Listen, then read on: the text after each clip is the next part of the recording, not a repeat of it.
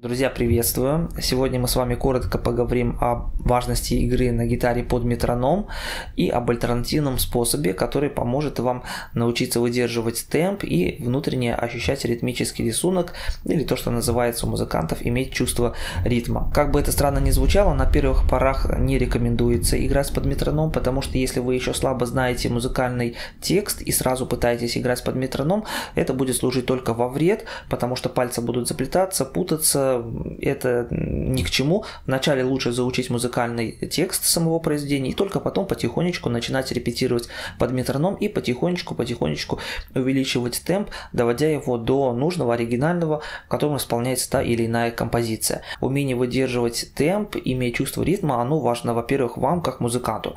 Во-вторых, оно э, играет большую роль для слушателей, потому что если вы то медленнее играете, то наоборот спешите вперед и не выдерживаете четкий э, темп, это может раздражать слушателей, и многие даже могут только догадываться, какую композицию вы пытаетесь сыграть. Еще почему важно четко, на мой взгляд, э, выдерживать ритмический рисунок и уметь держать темп, это когда вы играете в паре с каким-то музыкантом, дуэтом, например, или в ансамбле тем более.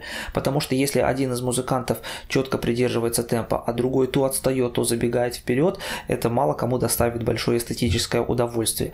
В ансамбле вообще нечего говорить, среди музыкантов есть такое понятие, как пускать петуха, когда все играют одно, а вы вдруг вдруг вклиниваетесь или случайно щипаете не ту ноту где-то в темпе, путаетесь. Поэтому в ансамбле тоже очень важно чувство ритма. По поводу альтернативного варианта, кроме метронома, можно использовать минусовки. Опять-таки, тоже после того, когда вы более-менее уже познакомились с музыкальным текстом и он у вас уже в руках. Вы можете читать ноты по листочку или наизусть, если заучили тексты парочку-тройку раз отработали с метрономом, и потом можно использовать как бы альтернативу ансамбля, подключать э, фонограмму, минусовку, благо их в интернете огромное количество, можно регулировать темп, можно подбирать любую тональность. И сейчас в качестве примера хочу для вас исполнить мелодию, которая называется «Черное и белое» из кинофильма «Большая перемена».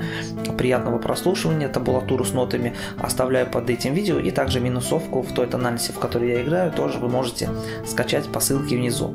Приятного приятного прослушивания, репетируйте, у вас все получится. Пока-пока. Спасибо за лайки и подписку.